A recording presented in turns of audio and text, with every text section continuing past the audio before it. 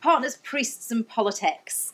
Um, I start off with partners, and uh, I stand here with some trepidation, being aware that for the most part you are employed by LLPs or are you you are members of LLPs, and you probably know much more about LLPs than I do. Um, obviously, in relation to the Equality Act, there is express protection for members of LLPs and indeed express protection for partners. Uh, so uh, the position in relation to discrimination legislation is quite straightforward.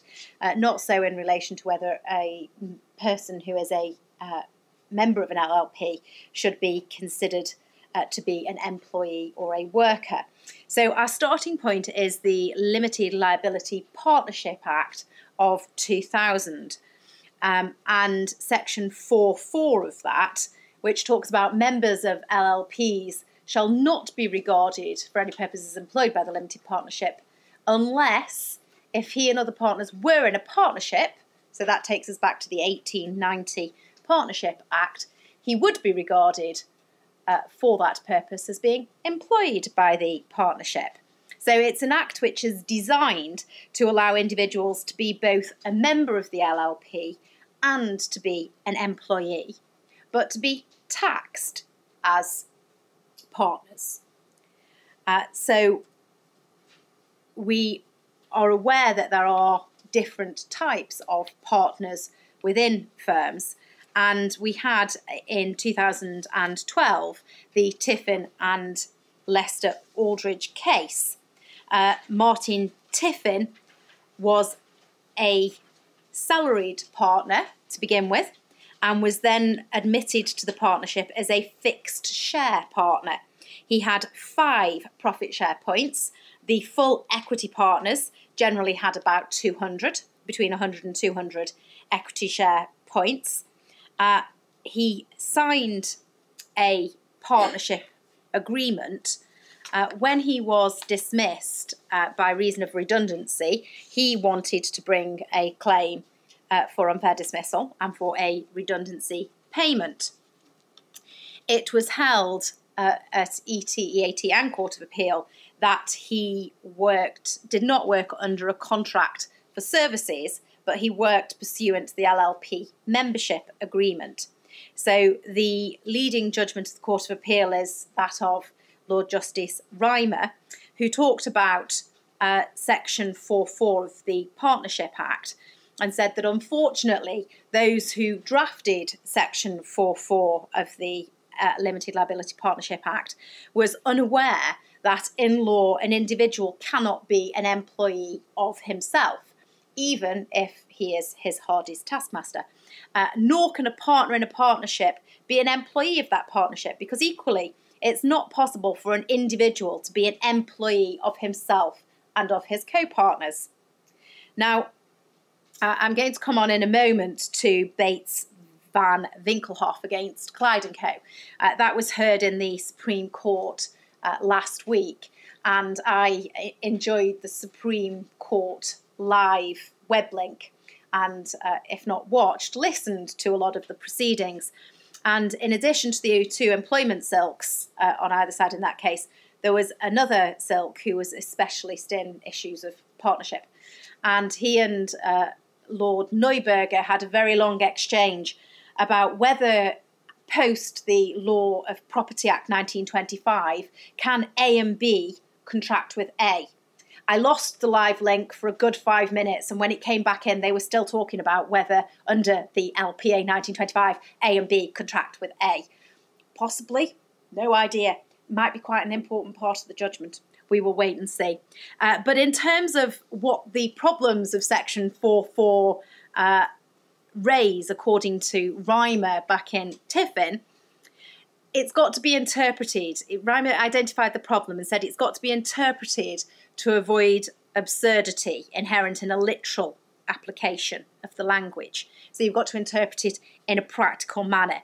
How do you do that? Well, at the bottom of page three of the paper, uh, he talk he he says that we've got to assume that if the LLP had been carried on by two or more members as partners, so under the 1890 Act, would that person be one of the partners or, or would they be considered to be an employee? So, Mr. Tiffin, um, he it, when you're looking at Mr. Tiffin, have regard to the full equity partners and the fixed term partners, said Lord Justice Rymer, as being uh, essentially the same, even though their commercial interests are different. They both contributed capital, they both had shared profits, they both had a voice in management. If on uh, winding up of an LLP, they would both have a share in the surplus. So these were all important factors. Now, uh, again, a topic which with which you will all be much more familiar than I am is the impact of the Finance Act 2014, because HMRC uh, have reviewed um, the way in which salaried partners are to be taxed, uh, with employers' national insurance contributions running at 13.8%. This is a key area, and as I understand it, um, that that the the in order to continue to be taxed on a self uh, on a partner basis, uh, partners have got to fail each of the three conditions which have been set. Uh, condition A being 80% plus as a disguised salary, condition B being to do with significant influence, condition C being capital contribution of at least 25% of the disguised salary. So lots of LLPs are obviously requiring their salary partners uh, now to make capital contributions uh, in order to continue to be seen as partners and therefore the firm not to have a liability for employer national insurance contributions. So these changes um, uh, of taxation, uh, I think, bring into question whether whether it will have an impact on questions of status, given that in Tiffin, uh, the factors that were looked at, which pointed to him not being an employee, were exactly these points about how his remuneration was paid, whether he had to make contributions, and so forth. So, at the moment, if we have LLP members not being employees, what about being a worker? Uh, and the facts of Bates uh, van Winkelhof um, are are uh, if you accept the allegations as put forward, are quite startling. Um, Mrs. Bates van Winkelhof um, was working in Tanzania and was part. She was a member of the Clyde and Co. Uh, LLP, uh, but also engaged in a joint um, joint joint venture with a Tanzanian firm, the managing partner of that Tanzanian firm, ACO Law, told her that he paid bribes to secure work and paid bribes to secure the outcome of work. So she phoned Clyde & Co.'s whistleblowing uh, helpline. She was dismissed by the joint ventureship suspended uh, from the LLP and then expelled by the LLP. So, so say her allegations. So she can bring her claims for sex discrimination and pregnancy discrimination, but can she bring a whistleblowing claim? Well, only if she is a worker. Uh, the ET said she wasn't. The EAT said she was. Court of Appeal said she was not. And the judgment of the Court of Appeal uh, was given by Lord Justice Elias. Uh, so, not, not to be quickly discounted. Um,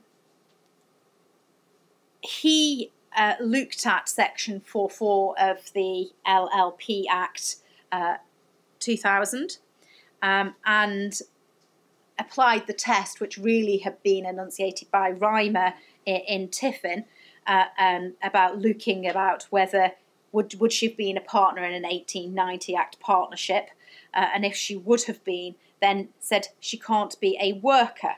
Uh, and he looked at the essential nature of the relationship between the parties. The Supreme Court have heard argument in this, uh, and essentially, um, and it appeared to me that those acting for Mrs. Van Winkelhof got an easier ride than those acting for Clyde and Co. Whether that means anything, we'll see. Um, they they were asked then to be a worker, is it enough for there to be personal service and it not to be a business relationship or a professional relationship along the lines of um, Jivraj and uh, Hashwani um, and the the arbitrator type cases. Would this mean that all LLP members are workers? And the answer on her behalf was in the vast majority of cases, yes, all LLP members would be workers in, in the same way that shareholders can be employees. So whether whether uh, the Supreme Court go that far, um, we will see. So what uh, interesting issues does this give rise to? Should whistleblowers have less protection than those discriminated against? Uh, it's it's a leading question. um, I don't know. What's your view? Do you think that it's that that as a matter of politics, really, it's right that the um, that the protections are different, given the many similarities between whistleblowing provisions and discrimination provisions? Answers on a postcard. Do feel free to shout out. Uh, what about situations where the partner's got a duty to report the wrongdoing? Uh, if they, uh, bearing in mind that the allegation here is this is Mrs. Bates Van Winkelhof phoned the Clyde and Co. whistleblowing hotline, and if she is then sacked for disclosing something that she has phoned their hotline to disclose, that doesn't really sit right. And Baroness Hale, unsurprisingly, seemed to be um, somewhat concerned uh, with with these kinds of policy points. What about other sectors? What about financial sectors? We I and probably most of us in this room think of LLPs and we automatically think of solicitors' firms. There have been a couple of the leading cases, but of course, LLPs are used in lots of sectors. So, what about if there are obligations uh, imposed by bodies such as the FCA? Uh, should there not be protection there if they're acting pursuant to a duty? Is is uh, will they have a duty to disclose and yet no protection? Um, should whistleblowing protection be given contractually in LLP agreements? Ought it to be a matter of contract? And will any of this matter after the Finance Act 2014, or will that, will that change the landscape under which we're operating? All remains to be seen. Priests. Uh, I've included this for three reasons. Uh, the first of all uh, is that there has been a recent Supreme Court case on the topic and in looking at status, I think it's right to mention uh, a 2013 Supreme Court authority. Secondly, I wanted a title for my talk which had three letter P's, and the clergy lent itself by way of priests to that. And the third is that I have an anecdote which is relevant and uh, somewhat entertaining in, in my view as far as employment law anecdotes go is that I had the pleasure of being in the Court of Appeal years ago uh, when Lord Justice uh, Staughton remarked that whoever might be the employer or in charge of members of the clergy, it wasn't God because we didn't have his email address to join them as party. Which brings me on to politics. Uh, two very quick topics in terms of the politics of where we are. Uh, politics always plays a part in employment law, and we're, we're very, very keenly aware of it uh, with the introduction of tribunal fees and the possible uh, changes to that which have been announced, reviews of it that have been announced today.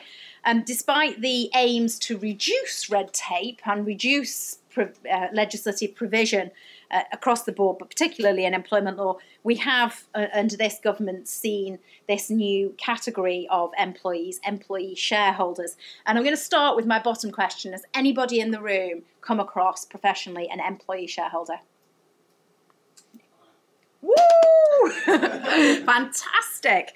Um, they're not being widely used, is, is the perceived wisdom. And indeed, why would they be? If you don't trust an, a prospective employee enough for them to have the right to claim unfair dismissal two years down the line, why would you want to give them a share in your business?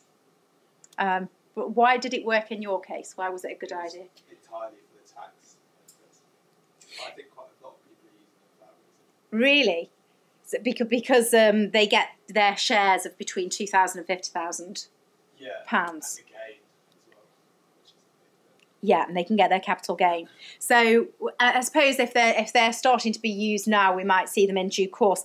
What's interesting to note, and, and this is set out on page nine of the paper, is that uh, although people who have taken the employee shareholder status can't bring a standard, an ordinary unfair dismissal claim or, or make a claim for a redundancy payment. Um, they cannot uh, opt out of the unfair dismissal exclusions. Uh, they still have the right to claim for automatically unfair dismissal uh, they still have the right to claim in relation to any dismissal which would be a contravention of the Equality Act and in relation to health and safety uh, dismissals. So uh, it, it, it doesn't debar them from bringing claims entirely. The other area of politics with which we are, uh, which we're seeing a lot in the press about at the moment, is in relation to zero hours contract. And I commence this. It's quite apt that it's pointing at five to because I'm very aware that in five minutes it's time for you all to go upstairs and partake of a glass of wine. Um, so really, it's just to to raise a few questions uh, under this heading. Um, Anne Sharp, of the chief exec of ACAS, uh, has uh, said the beginning of this year that there's a lot of uncertainty about zero hours contracts, which leads to confusion, uh, and that there is a lot of there is perception that they are widely abused. For example, fast uh, workers in fast food establishments being told that they should turn up in uniform, uh, be in the shop for nine, and then their clock will start when they get the first customer at some point. Um, how how widespread that is. Uh, there's there's been um, a call for evidence, and there has been uh, consultation. Now the consultation document, uh, consultation closed earlier in March, and its stated aim was to maximise opportunities for zero hours contracts while minimising abuse by setting out core protective standards. And these core standards are supposed to relate to transparency and uh, and there is concern about exclusivity clauses if you're not giving anybody any guaranteed hours.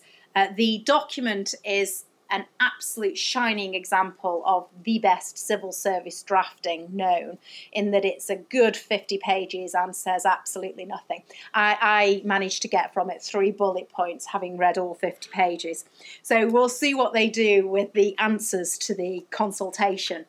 Uh, but really, I end with a reminder that this is not, uh, as some would have us believe, a blank sheet of paper. Uh, where zero hours contracts are being used for the first ever time. We do have a body of case law, and we've seen um, fairly recently the G4S and Alfonso case, where a, an, a security guard um, actually requested to go onto a zero hours contract for personal reasons. And the legal background to consider this claim goes back to the cases that you've heard Paul talk about earlier. It goes back to uh, Clark and Oxfordshire Health Authority, Carmichael, uh, and National Power. We've known for a long time that for there to be a, a, global contract of employment, it's not necessary to, in every case for that to be an obligation to provide work and perform work.